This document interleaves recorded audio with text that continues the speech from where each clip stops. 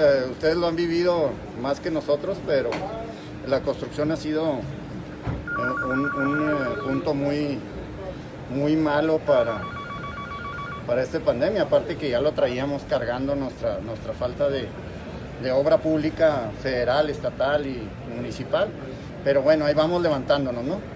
¿Cuántos empleos se perdieron en este sector? Mira, estamos hablando de que hace cuatro o tres meses ya traíamos una pérdida de empleo y estamos hablando de alrededor de 3.600, 3.800 en la pura ciudad de Chihuahua.